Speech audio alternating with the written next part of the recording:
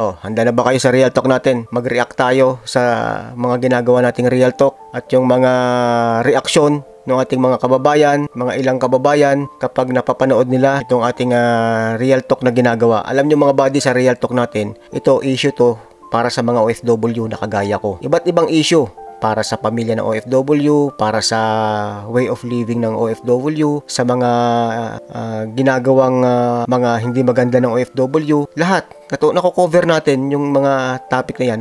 Depende kung ano yung unang pumasok sa isipan ko at kung ano yung nakikita ko at nasasaksihan ko sa ating paligid.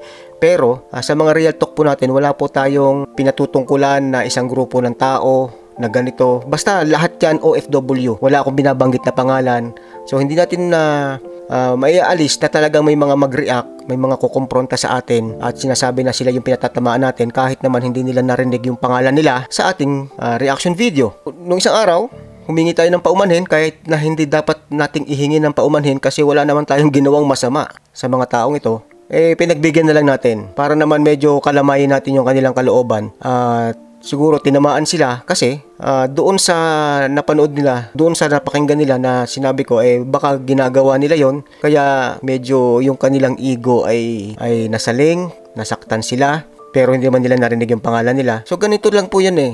Ah, tayo po, prangka po tayo dito sa ating ah, mga reaction video kung ano po yung ating nararanasan, kung ano po yung ating naobserbahan, eh sinasabi po natin na mula sa ating ah, puso. Ito sa reaction videos natin, hindi po masisira yung inyong ah, kinabukasan. Hindi po masisira yung inyong ah, reputasyon. Kung ano man po yung inyong trabaho, kung ano man po yung inyong posisyon sa inyong pinagtatrabahuhan. Kung inyong pagninilay-nilayan yung mga sinasabi ko, maaari po na makatulong pa ito sa inyo.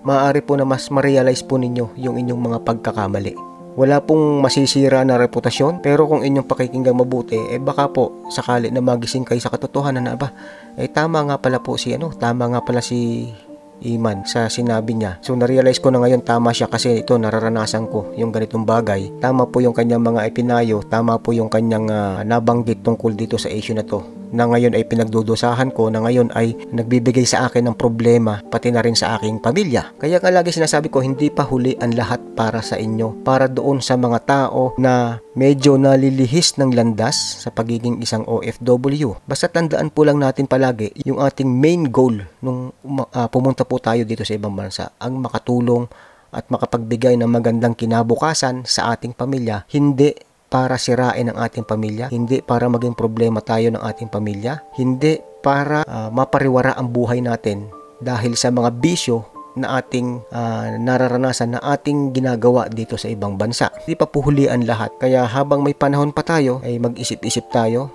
at itama natin kung ano man yung mga mali na nagawa na natin. Kasi mahirap yung dadating tayo sa time na nandun na tayo sa Pilipinas, wala na tayong trabaho, matanda na tayo, mapapaisip ka na lang, ano ba yung mga naitulong ko? Ano ba yung aking ah, naging contribution sa aking pamilya? Ano ba yung aking nagawa sa aking buhay para mabago ito sa pag-abroad ko ng ilang taon? Kapag sinagot ka ng iyong konsensya, wala kang nagawa eh. e paano ka magkakaroon ng ah, resulta na maganda nung ikaw ay nasa abroad, eh ganito yung mga inatupag mo, ganito yung mga bisyo mo. Hindi ka nagtipid, hindi ka nag-ipon, kundi pagkakasweldo mo, one day millionaire, gastos dito, gastos doon, bili dito, bili doon. Kahit na hindi importanteng bagay, binibili. O ano, ano na iambag mo ngayon? Ano ngayon yung kinahinatnan nung ilang taon mong pagtatrabaho? So sana po hindi po tayo dumating sa ganong pagkakataon mga buddy. Kaya habang nandito tayo, habang malakas pa tayo, habang malayo-layo pa yung ating ah, bubunuin na panahon dito, eh umpisahan na po natin na gawing tama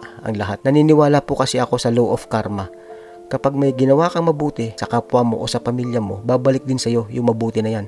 Pero kapag may ginawa kang masama sa pamilya mo, sa ibang tao, sinisigurado po natin na babalik din yan sa inyo. Eh kaso nga lang, minsan mga buddy, yung mga ginagawa mong masama ang nagsasuffer ay ang iyong pamilya, ang iyong anak mag-isip-isip po tayo. Hindi pa huli ang lahat para magbago. Tandaan po natin, lahat po ng ah, masasamang gawain sa mundo ay may kapalit na hindi rin maganda sa buhay ninyo. Minsan lang tayo mabuhay, kaya gawin na natin na tama. Gawin na natin na kapakipakinabang yung ating mga oras sa mundo. Hindi lang puro ah, pagpapaligaya sa ating sarili. Hindi lang puro tayo lamang ang dapat na magtamasa. Yun lang po mga buddy. Maraming maraming salamat.